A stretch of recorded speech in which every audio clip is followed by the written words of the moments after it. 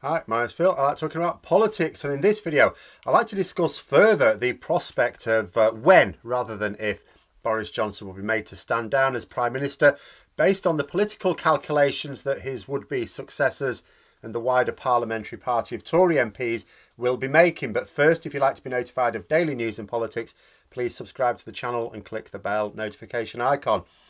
So I've alluded to some of the factors which will determine when Boris Johnson steps down recently. Uh, but now that the North Shropshire by-election results known, and it was, a, it was a fairly brutal defeat for the Conservatives, it's time to go over all of my thoughts on this. And it was it was worth waiting a couple of days as well, just in case a load of MPs instantly submitted their letters, or in this case, emails of no confidence, making the entire discussion largely moot. Given that we've had no word that this has happened, I'm going to work on the possibility that the, indeed the probability that the vast majority of Conservative MPs are being a little cautious right now. Obviously, the announcement of Frost's resignation at the weekend could throw some political calculations out of the window, but we need to remember that Johnson's fate is down to a few hundred Conservative MPs, nobody else. Some of them are rational, some are not. Some will have reasons rational reasons to want him gone quickly. Some will have rational reasons to want him to stick around for longer. What I'm saying is the timing of Johnson's departure is difficult to ascertain. It could be that there's a leadership contest announced by the end of today. Doesn't mean he'll be losing it though. It could be that there's no leadership challenge for many months. You know, we don't know because there isn't an obvious best answer for all Tory MPs. And even then, you could only predict it if you assumed that most behaved rationally.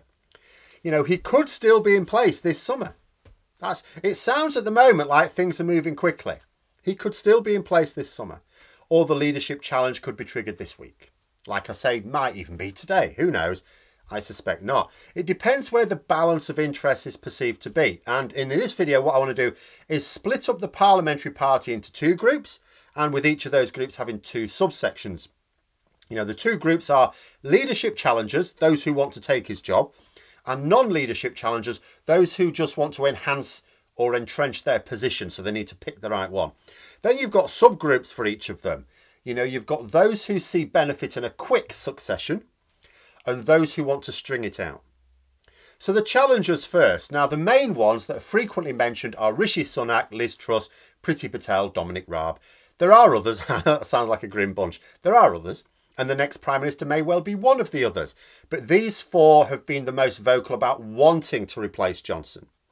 In fact, both Liz Truss and Rishi Sunak have been quite blatant.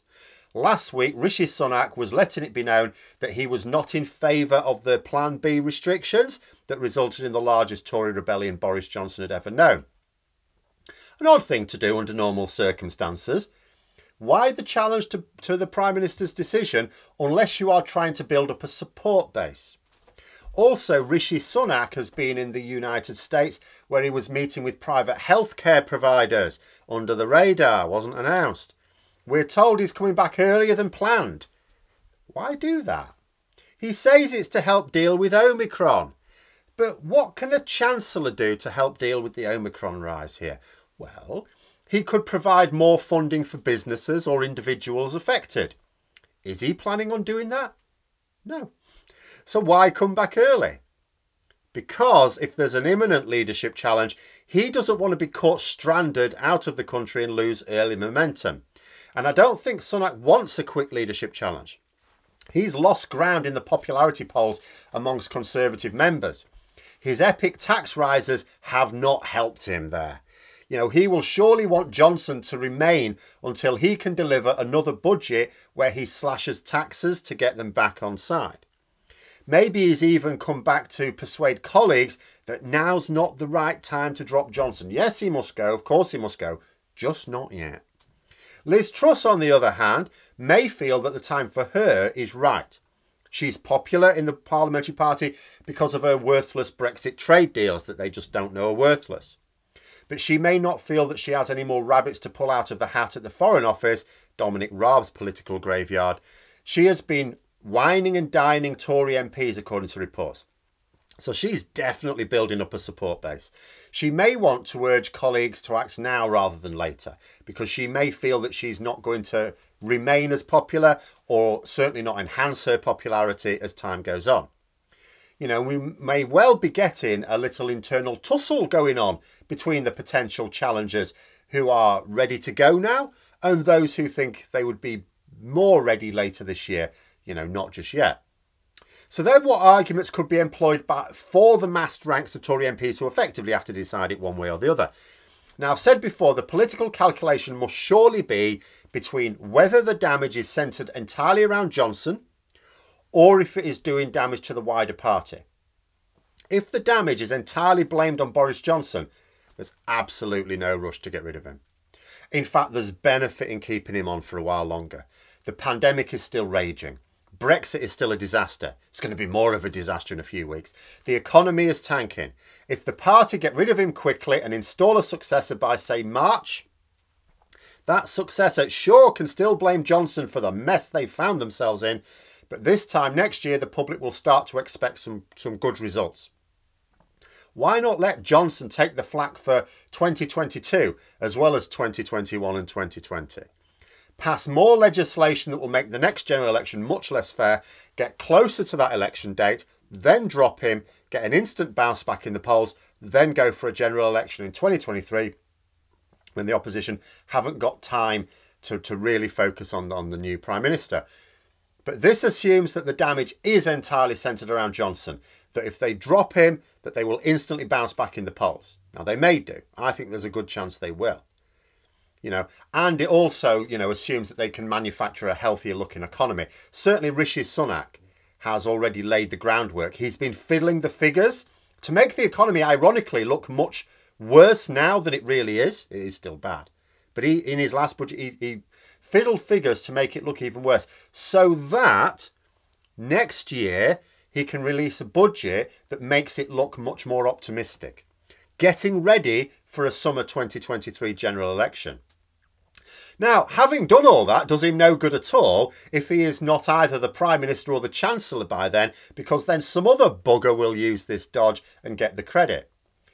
But is the damage centred entirely around Johnson? Because if you look at the result in North Shropshire in isolation, you would imagine so. It was quite clear the Conservatives lost heavily there because of the scandal surrounding Boris Johnson. That was the main reason coming through strongly when voters were questioned. There were a few other side issues, but that was the main one. But in June this year, there was another Westminster by election in Chesham and Amersham, another safe Tory seat that the Liberal Democrats took from the Conservatives. Not as safe as North Shropshire, but still.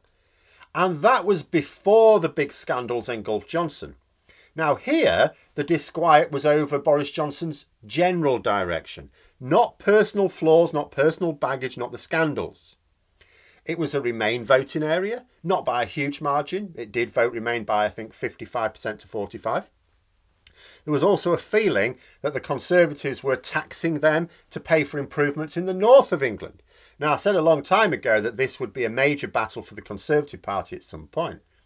By capturing so many seats in the north of England with promises of big spending, they created a fracture in their own party between the Red Wall MPs, who want that spending, they want to be able to show their constituents the benefits, and the Blue Wall MPs, who don't want taxes going up to pay for it.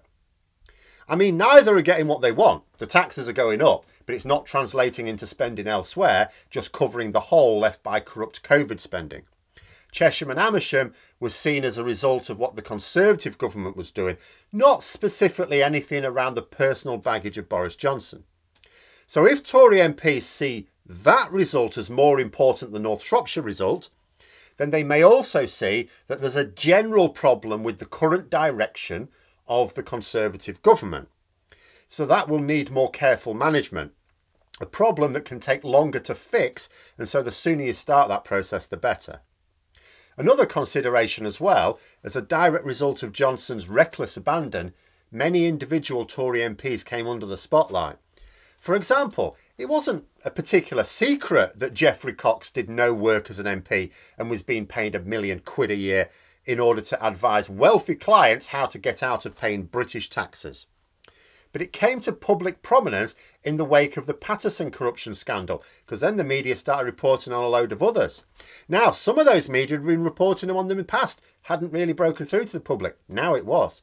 Johnson shone a spotlight on them all. If Johnson hadn't blundered in, most of the public would not have started paying attention to the dodgy second incomes of like a quarter of the Conservative Party in Parliament.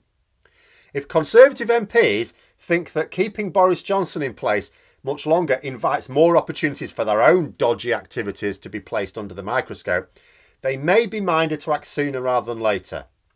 But then there's the final consideration. Now, I don't know. It's possible that a confidence vote will be triggered very soon. Maybe Johnson will be forced to resign sometime next month. Certainly, COVID might once have been an opportunity for him, but is now a potential stumbling block. But I think there's more chance that rational Tory MPs will want to wait and that is because there is no obvious replacement. If they do not get a replacement that makes good on the promises of infrastructure improvement and cannot appeal on a personal level to those working class voters that nicked in the North, there are a lot of Conservative seats, many of them only newly won, that are going to be lost at the very next opportunity. There are more than a few Tory MPs being quite vocal that what they want is for Boris Johnson to retain his campaigning skills and roguish charms, but drop the sycophants that he surrounds himself with and stop being so blatant at ignoring his own rules. But this is like asking a vampire to, by all means, patrol the streets at night, make us all feel safe, but can you stop biting the necks of young maidens, please? The scandals, the sycophants, the endless damaging baggage is Boris Johnson. He isn't carrying it, it's him. They don't seem to understand this. And the reason is that they can't afford to understand this because they have so little confidence in Sunak, Truss, Jav- you know, Javid, Patel, Gove, or any other potential successor to wield the same magic that they're completely trapped. Can't keep Johnson because he's too expensive. Can't get rid of him because his successor will be an epic gamble and could be just as bad. You know, with the added problem that they may split the party on issues that even Johnson doesn't. Of course, all this thinking is what a rational Tory MP will be having to go through and discuss with their colleagues. And even then, it's not obvious what conclusion they should draw. Should he go quickly? Should he go later? But not all Tory MPs are rational. Maybe they will drop him when they should keep him longer. Maybe they will retain him when he should be shown the exit immediately. We will see. But I do think that most of them will still be minded towards caution because, apart from anything else, if they get rid of Boris Johnson quickly, then his successor will still have to deal with an ongoing COVID problem, ongoing Brexit problems, ongoing economy problems. Much better to let Boris Johnson cop the damage that is still to come in 2022 and then get rid of him later on. But we'll see. We will see. Who knows? Uh, but those are my thoughts. Let me know yours in the comments below. Hope you found the video interesting. If you did, don't forget to click the like button. And if you'd like to support the channel further, please also click the Patreon link for details. And until next time, I'll see you later.